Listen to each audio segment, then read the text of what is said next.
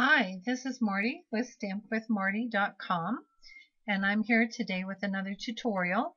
Today I'd like to show you how to turn your stamp brush sets into punches, um, just like this bunny punch on this baby announcement. Any of your SVG type stamp brush sets can become punches. The solid stamp brush sets are going to work the best. And if you have a stamp set that's not an SVG, um, there is a way to make that into a punch also, and I can show you that in the next video tutorial. But for today, let's get started. The first thing that you need to do is to locate the program files for my Digital Studio on your hard drive.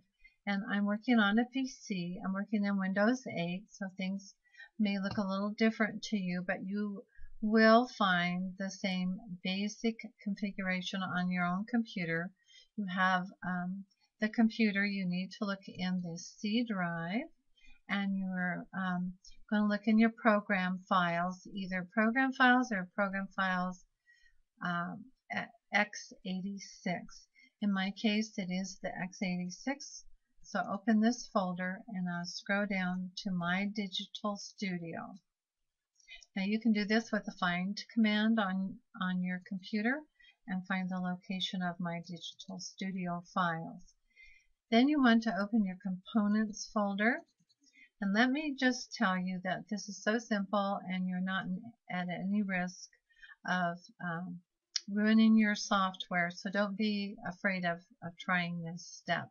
Open your stamp sets and the stamp set that I'm using today is called Little Additions and it's a nursery or a, a baby set and I'm going to open it here and you can see that after the name of the stamp there is a dot SVG that tells me that it's uh, um, the correct type of format for me to make a punch out of it. It also shows over here in the type SVG document. So the only thing that you have to be very careful of here is that you're going to copy this file. You're not going to move it. So select the file you want. I want the bunny. Right click with your mouse and say uh, copy. Click on your desktop and say and right click and say paste. Now you see you still have the stamp set here and that won't alter anything in your files. Now move up to back to your components folder and pick your punches. I wanted to create my separate custom punches folder inside extras, but you can do that anywhere you want. I do suggest you create a new folder and um, that you keep your custom punches in there. I put mine under extras, custom, and all I have to do is drag my punch or my stamp set, I'm sorry, over here into this folder. Now I've already have a copy in there and so um, it asks me if I want to replace it. You won't no normally see that. It will ask me if I want to do this as an administrator and I will say continue. So now I have the stamp set here in the punches folder and I can use it as a punch. So let me show you how to do that. We'll just close our file manager and open my Digital Studio. And let's start with a new project so I can walk you through this step by step. Pick a card. You want the greeting card, four and a quarter by five and a half create your own. Call it whatever you like. I'm just going to call it It's a Boy.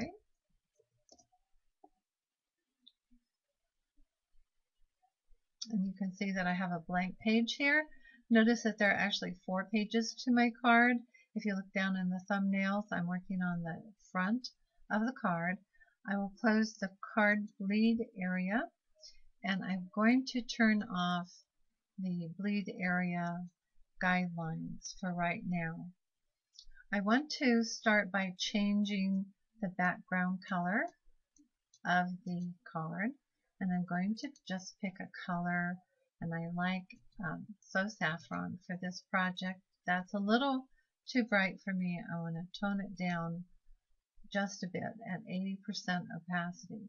Then I want to add a layer of um, cardstock and I will have all of the ingredients for my card listed on my blog if you want to check there and you can download the list. But I'm going to use special delivery subtle paper for this and I want to add as a page layer. So be sure that you check that. It will come in as a box instead of covering the whole page. And I'll stretch it out so it goes right to left and I want it narrower so I'm going to squeeze it down a little bit.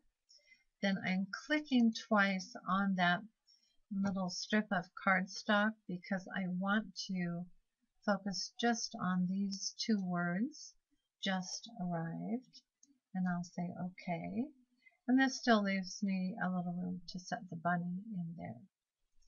The next thing I want to do is add some ribbon as a border so I'm going to choose embellishments.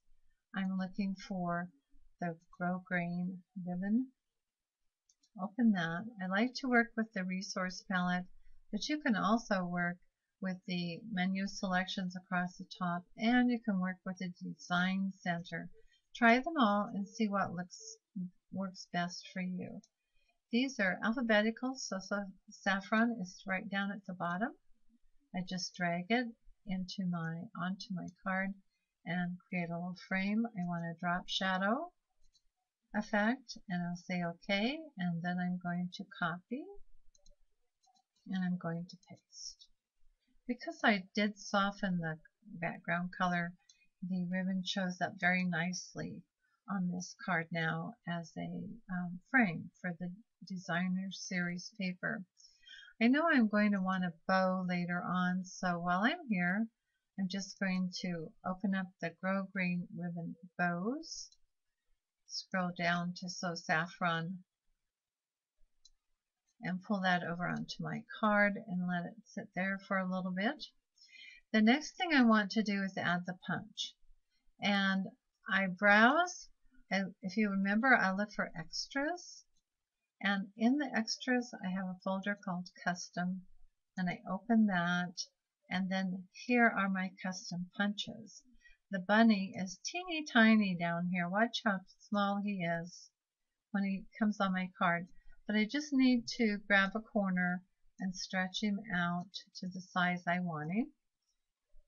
And I can make him just as large as or leave him that small. And then I want to fill him with paper. So I choose paper fill from the design center. And I'm using the grid paper. I think this comes with MDS2, uh, 2 Plus, and so you should have this on your computer as well. I love the grid, and I want the chocolate chip. Now notice the grid is very large. I'd like to make that smaller, so I click twice on the punch. I use the um, zoom buttons, the reduce the size until it's pleasing, and let go. I want to add a matte I want to change the color of the matte to this uh, early espresso, which will give it a nice dark uh, border and make it stand out, and then a drop shadow. That makes the punch really pop out. Now we can add the ribbon to the bunny. Notice how it goes behind our rivet, and we don't want that. So what we're going to do is while it's still selected here, we will just right click and say bring to front. Whoops, lost it. Right click and say bring to front. Okay, move the bunny back, put the ribbon right on top, and there we go. Going to turn it just a bit more so he's not covering the nose. And that's perfect. That's exactly what I want. Now I'm going to add a drop shadow to this ribbon as well. In fact, I'm adding drop shadows to everything and I'm using the default. You can make the drop shadow a little darker or a little lighter by changing the settings.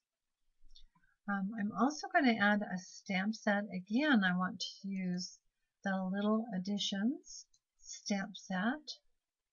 And I will click on it and say open. Here's the bunny that we made into the punch. Now look at that bear or that little one onesie. What punches those would be. I'm going to drop down here. I want the hearts. And I want it's a boy. I'm going to put down here. They're very small, but you can make them much larger and make them fit your card just the way you want. Um, change the color and I'm going to use early espresso. I could use chocolate chip as well, but I like this darker. I want the hearts to be red, so I will change them to real red. Give them a drop shadow. Leave the default. I'm going to turn them uh, a little bit, make them larger and turn them a little bit and have them set right up here.